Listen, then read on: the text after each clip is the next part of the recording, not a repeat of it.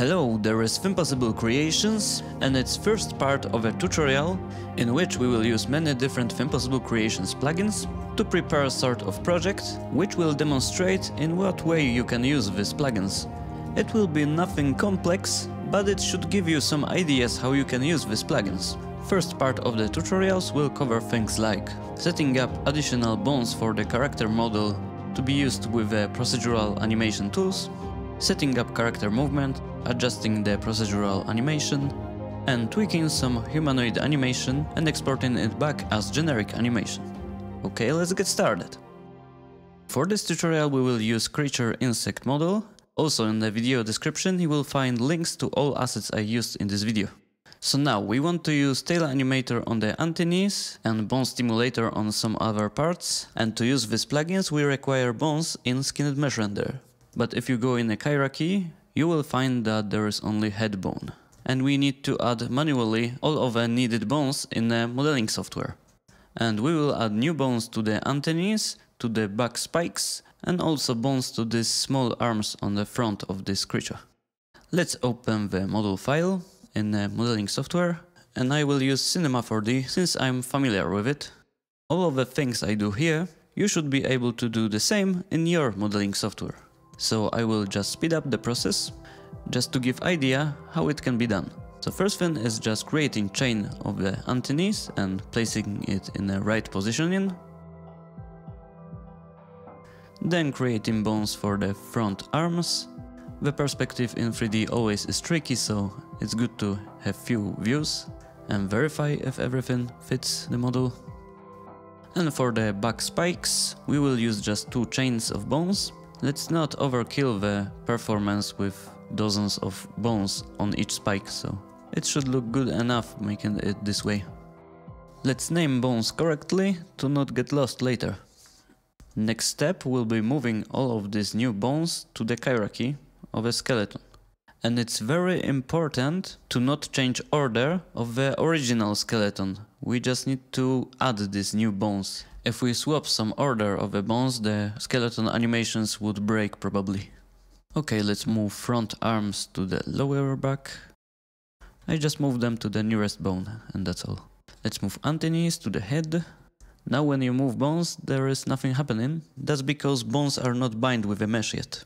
So let's skin these bones just on the polygons of the antennae. So we will just select vertices of the antennae model and polygon to vertex converter. Let's move new bones to the skin so it will be recognized by the skin. Then do auto weight on the antennae bones and select that we want to skin these bones just to the selected vertices. And as you can see the weights are assigned correctly. Now I will speed up the process and I will do the same on the all other bones. And now let's focus on the spikes. Let's select the upper ones, which are near to the bone chain. But let's not select every single spike, since it would probably look wrong on the so far vertices for the bone. Let's do binding and auto skinning. And they are ready. And let's repeat the same for the lower back. Let's check if it works. Yeah. Let's remove the not needed objects. Let's save it as Cinema 4D file to have some backup. And then let's export it as new FBX file, which will be used with Unity. Okay, it's here, let's move it to scene, let's apply the same material, Let's check if the animations are actually working with a new modified skeleton and everything seems to be fine. So now we have prepared model for further procedural animation plugins.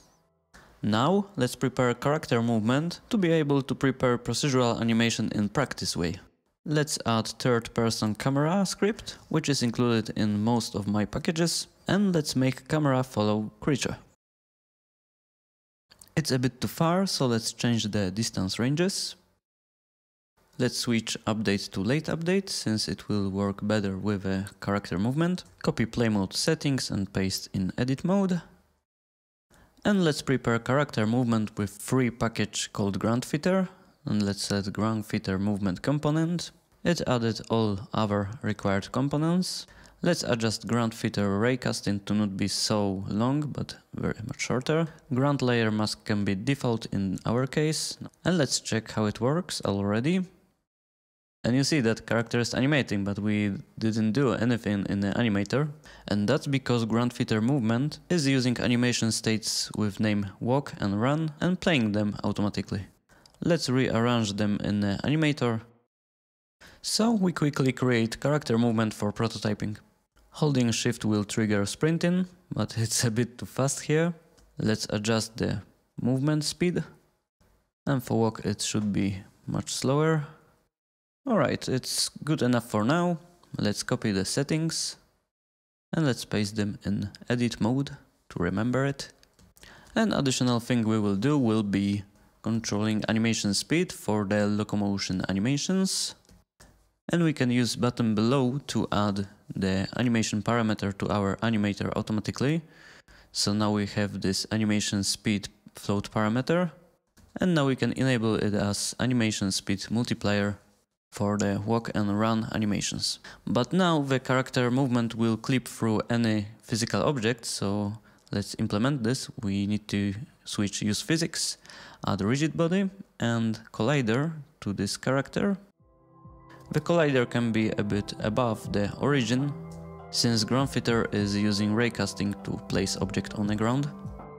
Now let's create some basic obstacle so we can collide with. Let's assign material to see it better on a scene, and let's check if it works. And yeah, now character collides, so it can work with some gameplay. Ground fitter is just quick solution for character movement for prototyping, you can use any other character movement plugin with this tutorial. First procedural animation tool we will use will be Leaning Animator. For Leaning Animator acceleration and grounded detection, we will use animator parameters. I will add true-false parameter, which will define if character is moving. The ground fitter is supporting changing such parameters. We just need to put here right names and have them in animator controller. Let's add parameter for a grounded detection. Alright, and let's use it with leaning animator. Here. Let's follow the leaning animator inspector view. And yeah, everything seems to be detected correctly. So now let's adjust the other parameters of a leaning animator. We need to assign some average speed on which leaning animator algorithm will base to animate the model. For more details, you can check the leaning animator tutorials. Now I will tweak a bit the parameters, so character will not lean so much to the sides, also not lean so much forward when starting to run, and some reaction speed response tweaking. Yeah, it looks better. Probably later we'll do some more tweaks, but for now it's okay. Let's finally move to our new bones and let's use tail animator on the antennaes. So let's just select first bones of the antennaes and let's add tail animator to them. Hit play and let's tweak it. But first thing you notice is this jittering when character moves and to fix it we need to change rigid body interpolation to interpolate. Now it's smooth but antennaes are reacting too much. Let's just quickly change the interpolation of rigid body to not forget about it later and let's tweak tail animator. First let's make the auto waving a bit smaller and let's make antennaes a bit more stiff and let's put down the motion influence so the bones will react a bit less with the character movement. It's much better. Let's check how it looks when sprinting. And it seems the settings are okay, so let's copy them. Paste in edit mode. And refresh the first bones, since copying it in play mode copied first reference to the left bone, so we adjusted it. And yeah, tail animator for antennaes is ready. Let's work with the spikes on my back. And there are these bones, alright, let's add bone stimulator on them. Let's automatically add bones to the two bones chains. Let's enable rotation bones. For sure the effect will be too big, but we will tweak it, yeah, so we just change the blending amount for the muscles and it starts to looking much better. Movement muscles reacts with a character movement in a world space, and rotation muscles are reacting with a character rotation in the world, but also with bones rotations in keyframe animation. Going with damping parameter lower increases power of a jiggle, and rapidity makes it look more fast. Let's check how it reacts with a model. And yeah, this setting seems to be okay. Let's save them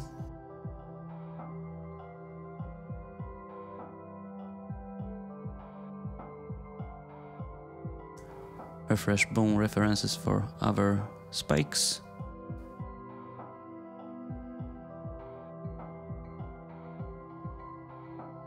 And yeah, these spikes are ready. Now we will add bone stimulator also to the front small arms. So we do the same as with the spikes.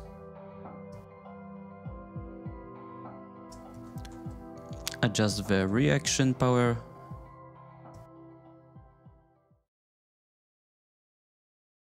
check with different character movement. I just trying to make this reaction to fit the model. And it seems it will be okay for now. Let's copy the settings, save in edit mode. Refresh bone references. And we have it. Now what's more we can do is using bone stimulator on a spine and on the arms. So let's try adding bone stimulator to a spine. Let's add bones and it's getting the first child so we need to correct this. And again. So let's apply some dramatic settings and check how it reacts. And whoa, whoa, it's too much. Let's settle it down. So lower blend, more damping. Same for rotation muscles. Let's see how it reacts now. And it seems it would look nice when muscles are blended more when character is stopping, but blended less when character is moving to avoid making animation when moving junky.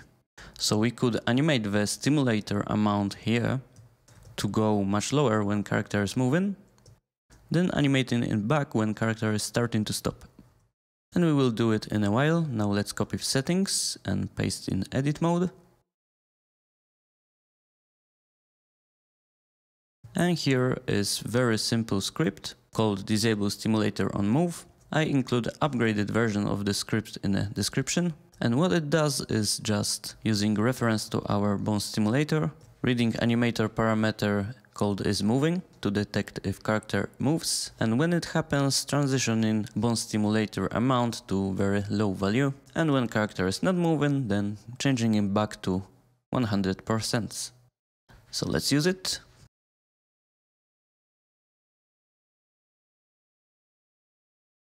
Let's move. Oh, let's unfold the bone stimulator to see the, if it's working. And yeah, so it will give some additional muscle effect when character stops to move and a bit when moving. Now let's try using it also on the arms. Add bone stimulator, add the bones chain up to the hand, initially some tweaking and enable rotation muscles. And it looks it's too much, so let's tweak it.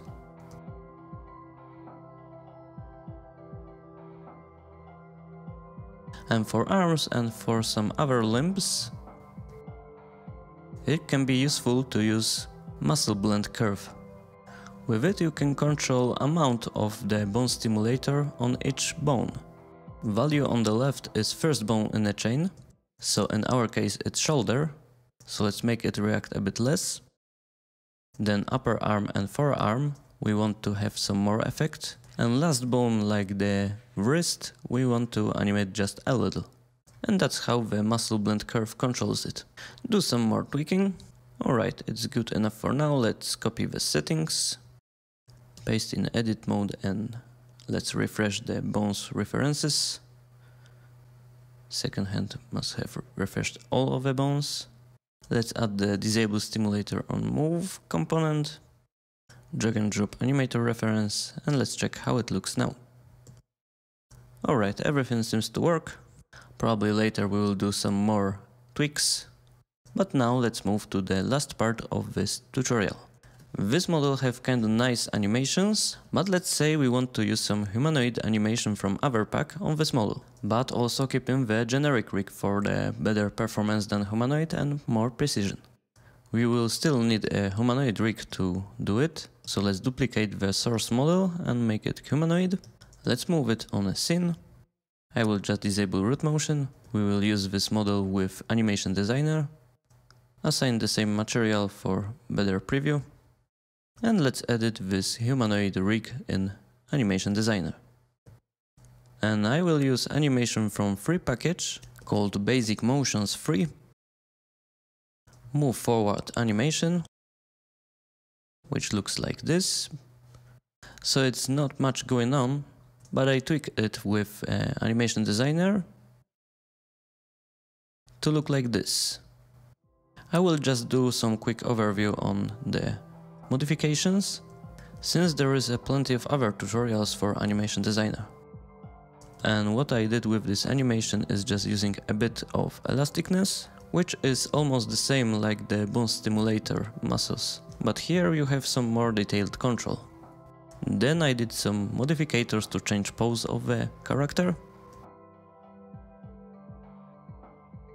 Also animate some of the spine a bit.